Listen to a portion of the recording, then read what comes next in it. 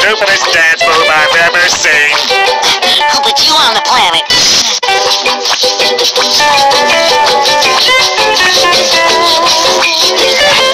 Who put you on the planet?